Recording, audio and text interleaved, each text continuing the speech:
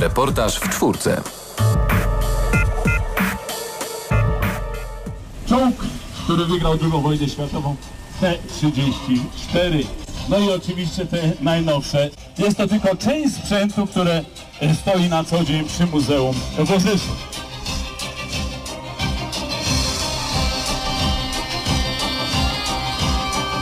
Syn się tak jakoś zainteresował, jak można zacząć z nim oglądać czterech koncernych i pies. I tak się zaczęło o wojsku. I jest zachwycony.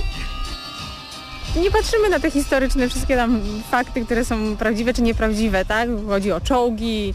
Fajne, to, to jest fajne usłyszeć, bo ja sam na tym filmie się wychowałem i bardzo często, nawet jak teraz jest, są y, powtórki jakieś w telewizji, no to staram się to oglądać. Może już na to, na to tyle czasu nie mam co kiedyś. I gra komputerowa World of Tanks też. No zawsze jakaś może pasja w przyszłości, zobaczymy.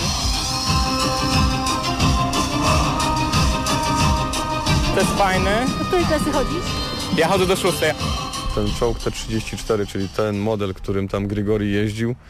Znaczy przestałem się dziwić tym obrazom, którym tam miałem z- podczas oglądania filmu, że tam naprawdę to się ciężko prowadzi. Tam jest, trzeba mieć dobrego buta, żeby się zaprzeć w podłogę i dwie silne ręce, żeby, żeby to się udało skręcić tak, jak prowadzi droga, jak, jak, jak zamierzamy pojechać.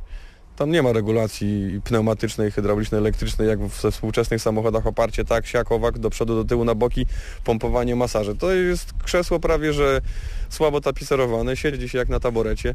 Oparcie musi być, bo żeby człowiek wciskając pedał sprzęgła nie pojechał do tyłu, tylko po prostu musi być zaparcie w plecach.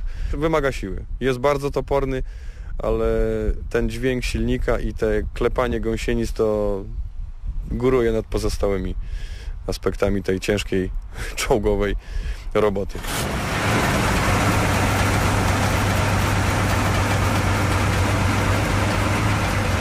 Zdjęcie na czołgu? Tak, dokładnie. E, Co w tym jest interesującego? Zainteresowanie militariami, e, wychowanie w jednostce wojskowej i to, że tata był żołnierzem zawodowym. Można zobaczyć, jak to wszystko działa. Od młodości interesowałem się sprzętem wojskowym, e, wojskiem i służba jest jedną z opcji.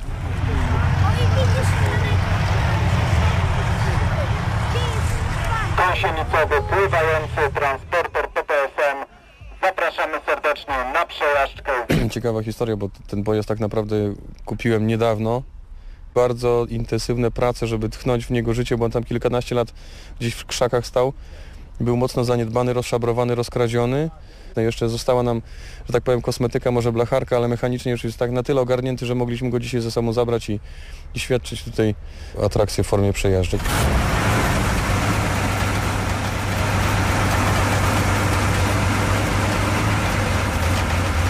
No, ja nazywam się Sławomir Trzeciakiewicz, jestem z Mrągowa, jestem prezes- prezesem Stowarzyszenia Mrągowskiego Stowarzyszenia Miłośników Pojazdów Wojskowych i Zabytkowych Szwadron. Zadają pytania właśnie podobnie jak i Pani, skąd to się wzięło, jak, jak, to, jak to zażarło, że jesteśmy tutaj skąd w ogóle jesteśmy.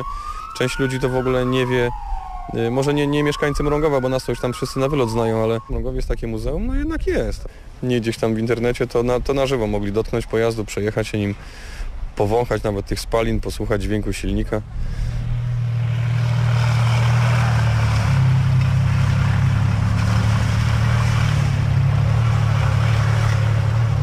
Ja byłem najbardziej zaskoczony reakcją właśnie młodych ludzi. No oczywiście pomijając, kiedy ich pytałem, czy chcą być żołnierzami, jeszcze nie wiedzą, ale po raz pierwszy mogli się przejechać czołgiem, skotem, wozem pancernym, transporterem gąsienicowym, jakby dotknąć, poczuć tą, y, tą mocną siłę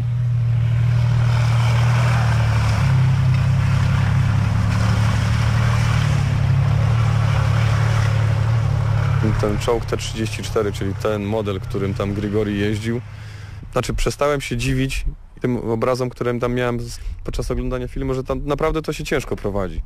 Tam jest, trzeba mieć dobrze, dobrego buta, żeby się zaprzeć w podłogę i dwie silne ręce, żeby, żeby to się udało skręcić tak, jak, jak prowadzi droga, jak, jak, jak zamierzamy pojechać.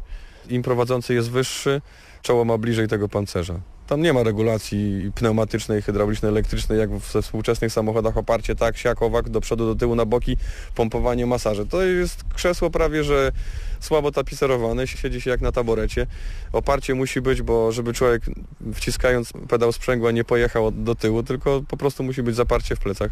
No, wymaga siły. Jest bardzo toporny, ale ten dźwięk silnika i te klepanie gąsienic to góruje nad pozostałymi aspektami tej ciężkiej czołgowej roboty.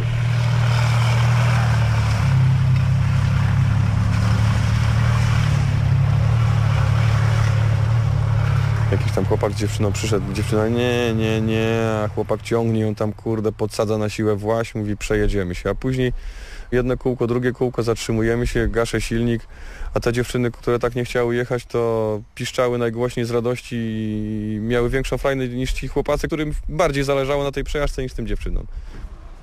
Włączamy bieg, sprzęgło puszczamy, jedziemy. Wajchę, drąg, wolan, dźwignię w prawą stronę, jak chcemy skręcić w prawą, jak chcemy skręcić w lewą stronę, ciągniemy, ciągniemy drążek w lewą stronę. No i, ta, i tak to skręca.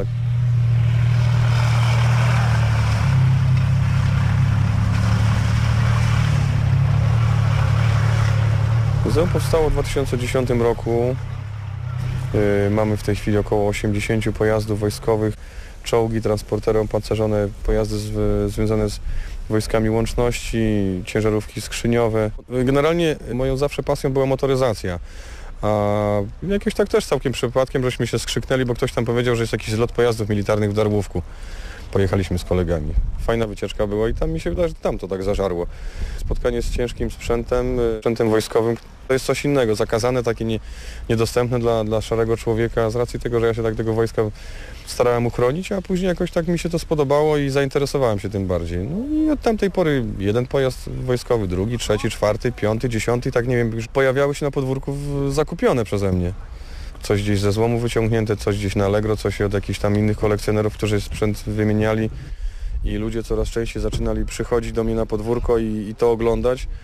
Mówię, to skoro dzieje się w tym kierunku coś, no to może czemu by nie za założyć legalnego muzeum, skoro ludzie i tak do nas przychodzą oglądać, chociaż żeby była jakaś tam mała cegiełka na konserwację, na, na eksploatację tych pojazdów. No i wtedy prze, przepchnęliśmy papierologię całą i w 2010 powstało, powstało Muzeum Sprzętu Wojskowego w Mrągowie. No i od tamtej pory dzięki temu, że byliśmy już pełną nazwą muzeum, no to mm, otworzyła nam się furtka pozyskiwania sprzętu nieodpłatnie z, ze Straży Granicznej, z Ministerstwa Obrony Narodowej. E, Zwoziliśmy to z różnych zakątków Polski, także każdy, każdy eksponat, który jest w muzeum ma swoją jakąś tam historię, czy to pozyskania, czy nawet y, transportowania tego do, do domu i w tej chwili mamy około 80 pojazdów. Perełką myślę naszego, naszego muzeum jest czołg T-34, który jest podwójną legendą. Jedna legenda to jest taka, że to jest czołg wykorzystywany w II wojnie światowej, a druga legenda to jest taka, że ten czołg e, brał udział w zdjęciach e, do filmu Czterej Pancerni i Pies. Co prawda nie był e, Rudym 102, ale na potrzeby filmu był przespawany na kwadratowo i grał rolę czołgu niemieckiego.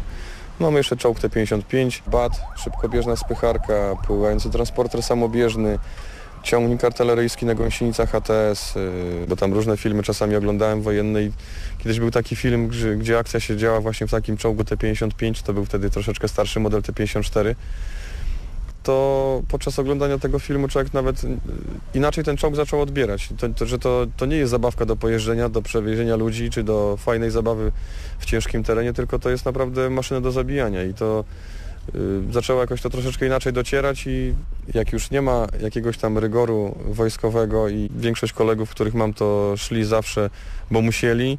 Ja tak naprawdę to rękami, nogami broniłem się od wojska. Do wojska nie poszedłem, a tak naprawdę mam swoje wojsko teraz y, u siebie na podwórku. Otwieram okno, wychodzę na, czy i przez okno widzę, czy wychodzę na podwórko, otwieram drzwi i mam kupę sprzętu wojskowego, od którego się broniłem rękami i nogami.